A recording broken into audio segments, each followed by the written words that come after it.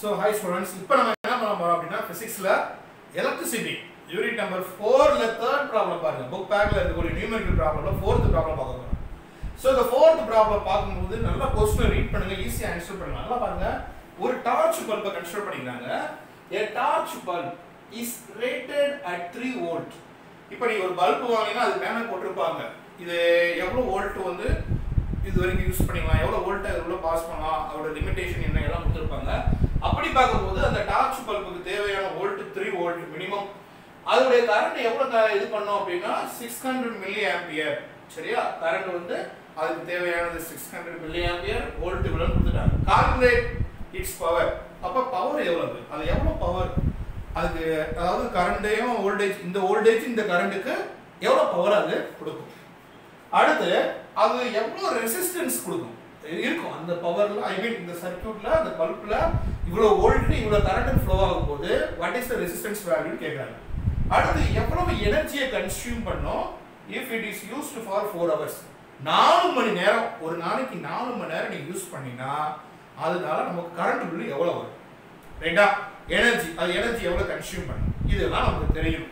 இப்போ பவர் கேட்டிருக்காங்க. First question ஏ வந்து பவர் அப்ப சொல்யூஷன் கண்டுபிடிக்கிறதுக்கு முன்னாடியே என்ன கொஸ்டின் கேட்டிருக்காங்க? Question power equal to question one so பவரை என்ன லெட்டரில் யூஸ் பண்ணுவோம்? அதோடைய ஃபர்ஸ்ட் லெட்டர் தானே? அந்த P equal to question mark சரி அப்போ பவரை கால்குலேட் பண்ணணுமா நீங்கள் சரி பவரை கால்குலேட் பண்ணணும் என்ன ஃபார்முலாப்பா யூஸ் பண்ணுவீங்க? ரொம்ப சிம்பிளான விஷயம். பவர் வேணும்னா கரண்ட் இன்ட்டு வோல்டேஜ் ரொம்ப சிம்பிளானது எந்த இடத்துலையும் பவர் கண்டுபிடிக்கிறதுக்கு ஃபார்முலா கேட்டாங்கன்னா power equal to current into voltage அப்போ பவருக்கு சிம்பிள் போடு கரண்ட்டுக்கு ஐ போடுவோமா? வோல்டேஜுக்கு என்ன போடுவோம்? V so power equal to voltage into current பவருடைய formula என்ன? வோல்டேஜ் இன்ட்டு கரண்ட் அப்போ கரண்ட்டையும் வோல்டேஜையும் மல்டிப்ளை பண்ணால் உனக்கு பவர் கிடைச்சிருமாப்பா சரி இப்போ சர்க்யூட்ல பாருங்கள் இந்த சர்க்கியூட்ல எவ்வளவு வோல்டேஜ் கொடுத்துருக்காங்க அதை எடுத்து எழுதுங்க. வோல்டேஜ் வி வந்து த்ரீ கரண்ட் எவ்வளவு? சிக்ஸ் ஹண்ட்ரட் மில்லி ஆம்பியர் கரண்டோட யூனிட் வந்து ஆம்பியர் தானே நமக்கு தெரியும்? ஆம்பியர் தான். ஆனால் எதுக்கு மில்லியும் கொடுத்துருக்காங்க. எம் ஃபார் மில்லி மில்லி அப்படின்னா ஒரு மில்லி மீட்டர் அப்படின்னா நீங்கள் எவ்வளோப்பா போடுவீங்க மில்லினா டென் பவர் மைனஸ் த்ரீ போடணும். சரிங்களா மில்லினா டென் பவர் மைனஸ் த்ரீ அது மனப்பாடம் பண்ண வேணாம். மில்லி மீட்டர்னா டென் பவர் மைனஸ் த்ரீ மீட்டரை பாதிக்கும் அப்போ நீங்கள் இதை என்ன பண்ணிக்கணும்?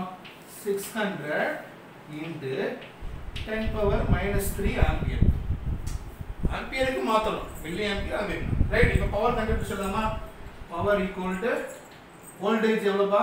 த்ரீ வோல்டேஜ் இன்ட்டு கரண்ட் தானே? Current six hundred into ten power minus three அப்பா. ரைட் இதை சிம்பிளாக நீங்கள் பண்ணலாம்ப்பா.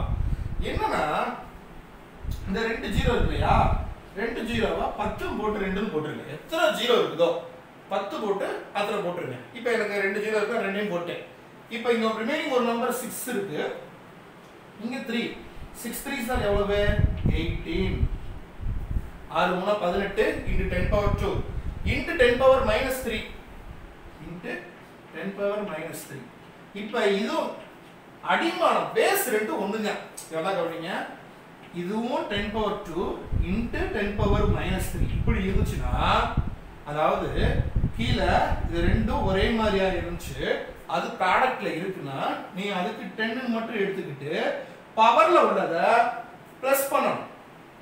ரைட்டா இசை இப்போ என்ன இருக்குது? டூ இருக்குது. நான் இந்த டூ அப்படியே போட்டேன் ப்ளஸ் அதுக்கப்புறம் இங்கே என்ன இருக்குது? மைனஸ் த்ரீ நான் ப்ளஸ் தான் பண்ணணும். ஆனால் அங்கே ஒரு சிம்பிள் இருக்கு அதை அப்படியே போடணும். அப்போ மைனஸ் த்ரீல டூ போச்சுன்னா என்ன வரும்? மைனஸ் ஒன் மைனஸ் ஒன் வருமா?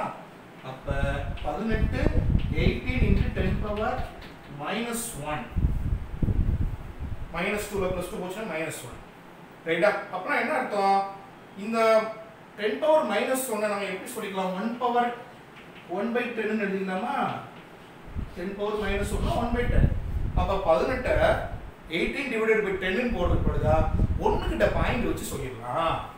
அப்போ பவர் வந்து ஒன் பாயிண்ட் எயிட் அதோட யூனிட் வந்து வாட்ஸ் ஸோ அதோடைய பவர் எவ்வளோ பாரு? ஒன் பாயிண்ட் எயிட் அதாவது ஒரு ரூமுக்கு நம்ம எவ்வளோ எனக்கு ஒரு ரூம் சின்ன ரூமாக இருந்துச்சுன்னா அதுக்கு நான் இவ்வளோ வாட்ஸ் போதுமானது. ரூம் பெரிய ரூமாக இருந்துச்சுன்னா அங்கே போய் நம்ம கரெக்டாக பார்த்துக்கணும். மூணு வோல்ட்டு இதை நீங்கள் வந்து இது ரெண்டு மல்டிப்ளை பண்ண தெரிஞ்சிடும் ஓகே மல்டிப்ளை பண்ணால் வெறும் ஒன் பாயிண்ட் எயிட் வாட் தானே. அப்போ இந்த ரூமுக்கு பத்தாது. அப்போ இன்னும் கொஞ்சம் அதிகமாக வாங்கணும். சரியா? அப்போ ஃபர்ஸ்ட் கொஸ்டின் பவரை கண்டுபிடிச்சாச்சு. ரெண்டாவது கொஸ்டினுக்கு வா. இப்போ ரெண்டாவது கொஸ்டின் அவங்க என்ன கேட்குறாங்க அப்படின்னா ரெசிஸ்டன்ஸ் கேட்குறாங்கப்பா ரெசிஸ்டன்ஸ் பிசிக்ஸ்ல நம்ம என்ன சிம்பிள் போடுவோம்? ஆர் போடுவோம்னா ஆர் கண்டுபிடி.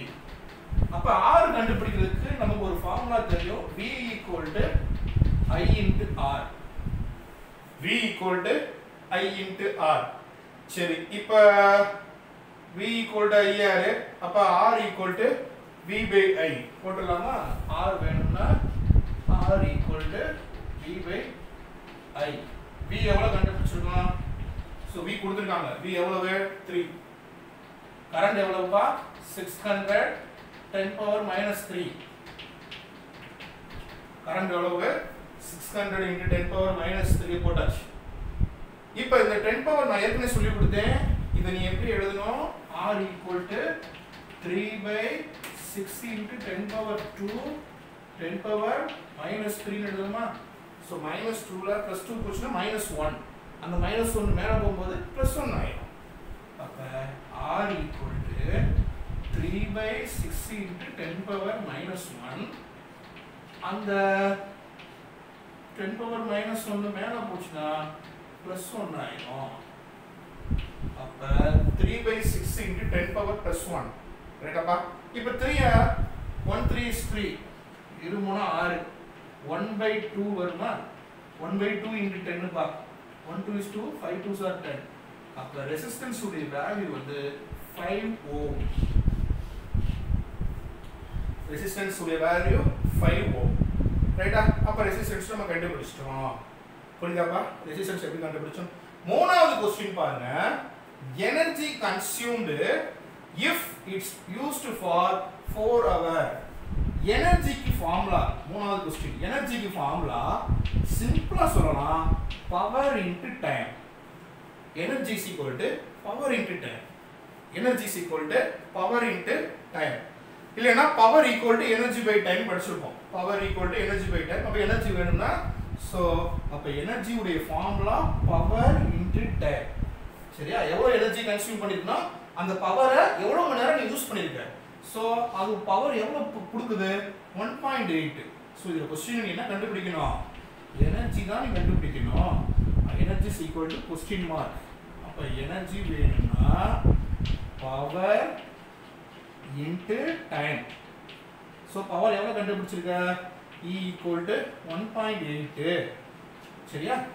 டைம் எவ்வளோ மணி நேரம் யூஸ் பண்ணுற நாலு மணி நேரம் நீ யூஸ் பண்ணுற அப்போ ஒன் பாயிண்ட் எயிட்டை ஃபோரால் மல்டிப்ளை பண்ணால் எவ்வளோ வரும்? Seven point two E equal to seven point two எனர்ஜியோட unit வந்து ஜூல் பா. So energy is equal to seven point two joule so இவ்வளோதான் ரொம்ப சிம்பிளான விஷயம்.